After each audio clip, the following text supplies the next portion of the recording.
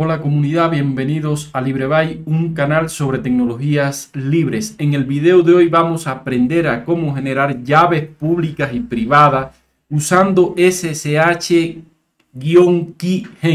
una herramienta que forma parte de OpenSSH. ¿Dónde usar las llaves públicas y privadas? Pues cuando nos conectamos a un servidor remoto podemos hacerlo usando llaves públicas y privadas y eso lo aprenderemos en un próximo video. También en el video anterior aprendimos cómo conectarnos a un servidor remoto usando usuario y contraseña. En la descripción de este eh, video dejo el enlace a la lista de reproducción sobre SSH, también el enlace a mi canal en la plataforma Library y a mi blog libreby.net. Pues vamos a generar las llaves públicas y privadas usando SSH gen y especificando la opción T, menos T. Si cuando especificamos esa opción podemos escoger o eh, establecer el algoritmo que deseamos usar para generar las llaves públicas y privadas. Y los algoritmos disponibles son estos que están acá. Si usted no especifica la opción menos T, va a seleccionar por defecto el algoritmo RSA. Así que vamos a generar usando el algoritmo RSA las llaves públicas y privadas. Aquí es donde se van a almacenar la, o sea, aquí se va a almacenar la llave privada y también en el directorio .ssh se va a almacenar almacenar la llave pública. Si usted quiere cambiarle el nombre, puede hacerlo, pero es recomendable dejarlo tal y como está. Como no estaba creado el directorio .ssh, se creó. Vamos a entrar una frase vacía. ¿Por qué? Porque si usted agrega una frase cada vez que se vaya a conectar a su servidor remoto, necesita teclear esta frase. Ahora, esto añade una capa de seguridad, pero también añade una capa de complejidad a la hora de usar SSH en scripts automatizado. Por eso, de manera general, yo dejo vacío este, eh, este parámetro, esta característica.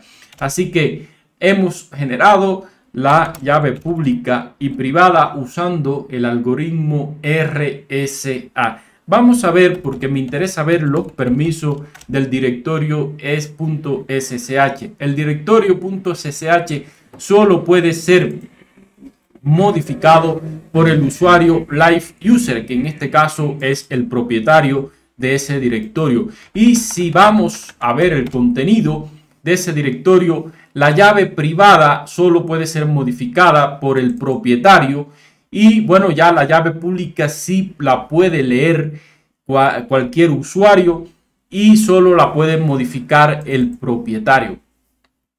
No obstante, como está protegida por esta eh, configuración de permisos, no hay riesgo de que otro usuario pueda leer esa llave pública. La llave pública usted se la puede dar a quien usted quiera. Lo que sí debe proteger, proteger celosamente es la llave privada.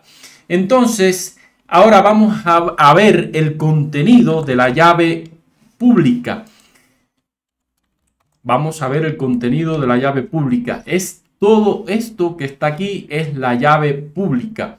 Y bueno, también puede ver el contenido de la llave privada. Como esta es una imagen viva, una imagen viva de eh, Fedora, pues podemos ver el contenido de la llave privada sin ningún problema, que es este que está aquí. Ahora, cuando usted esté generando la llave o cuando usted ya haya generado la llave privada, no le muestre a nadie la llave privada. No muestre el contenido, no la ponga a disposición de nadie.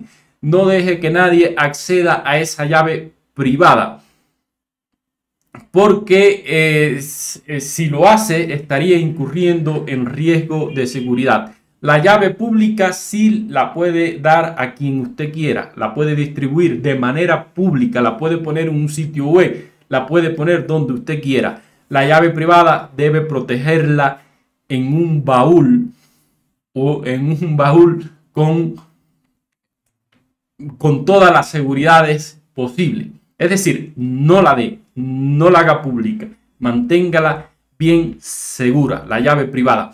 Ahora que ya generamos la primera eh, llave pública, podemos tener más de un tipo y lo vamos a hacer ahora, especificando eh, el tipo. Vamos aquí eh, generar, usar el mismo comando, pero en lugar de dejarlo sin opción, vamos a pasarle la opción y vamos a ver las opciones disponibles.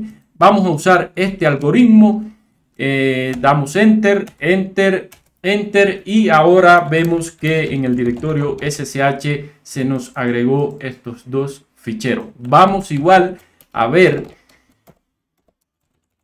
la llave privada. Recuerden, note la diferencia entre esta llave privada y esta, la privada de RSA mucho más grande. En cambio, no quiere decir que la RCA sea más segura. Ojo, no quiere decir que sea más segura porque sea más grande. Bien, en la llave pública, vamos a ver la llave pública.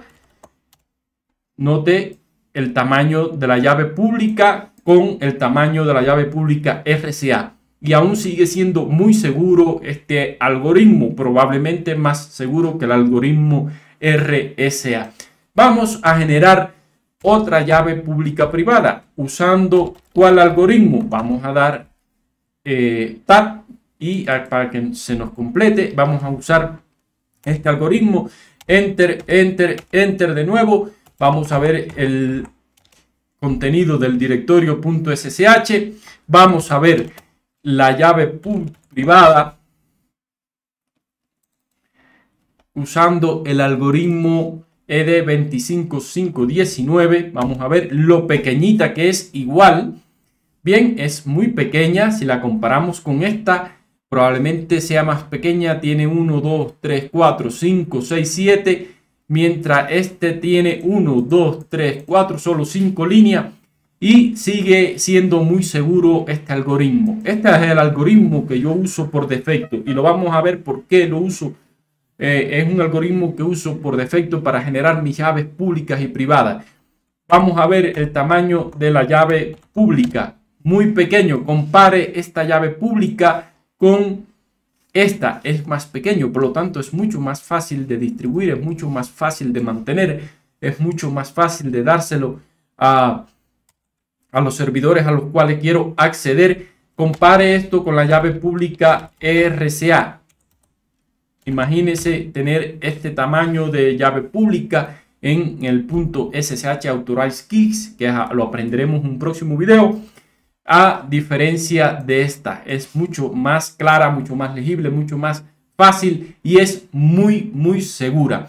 Entonces ya hemos aprendido a generar llaves públicas y privadas. Recuerden, nunca distribuya las llaves privadas, las públicas a quien ustedes quieran. La pueden hasta hacer pública. Esto es lo que quería mostrarle por el día de hoy. Así que en el próximo video aprenderemos a cómo conectarnos a un servidor remoto vía SSH usando llaves públicas y privadas.